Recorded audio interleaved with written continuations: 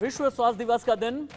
Fit रहें और hit रहें। आपकी फिटनेस कैसे बनी रहेगी, इसके भी कुछ टिप्स मैं आपको देने वाला हूँ। लेकिन वर्ल्ड हेल्थ डे क्यों मनाया जाता है, कब मनाया जाता है, कैसे मनाया जाता है, इसका इतिहास क्या है, बहुत संक्षेप में पहले तो आप ये जान लें। सात अप्रैल यानी आज का दिन है। विश्व स्वास्थ्य दिवस और पूरी दुनिया मना रही है। इसका जो उद्देश्य है, जो एम है, वैश्विक स्वास्थ्य के प्रति लोगों को अवेयर करना, उनकी जागरूकता को बढ़ाना। लोगों को सेहतमंद जीवन जीने के लिए प्रेरित करना विश्व स्वास्थ्य दिवस के दिन की प्रेरणा होती है। साल उन्नीस सौ अड़तालीस में विश्व स्वास्थ्य संगठन यानी डब्ल्यू ने यह प्रपोजल रखा इस दिन का, वर्ल्ड हेल्थ डे का।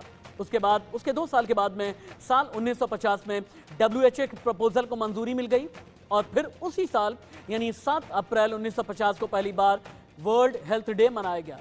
डब्ल्यूएचओ हर साल की एक खास थीम तय करता है साल 2024 की, यानी इस साल की थीम है माई हेल्थ माई राइट यानी मेरी अपनी सेहत मेरा अधिकार है, मेरा हक है।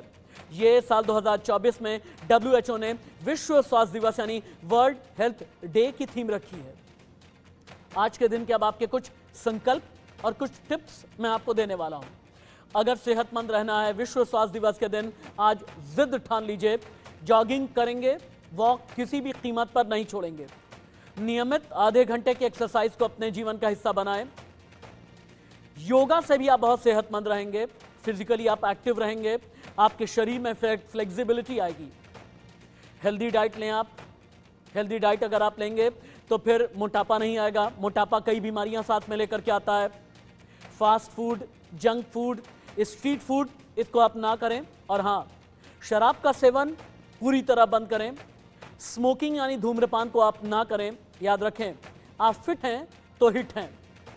मैं आज विश्व स्वास्थ्य दिवस के दिन इस संकल्प के साथ नहीं, अपने शो पर, शो को यहीं पर रोकूँगा मैं। वक्त छोटे से ब्रेक का हो चला है। इस उम्मीद के साथ कि आप सेहतमंद रहेंगे।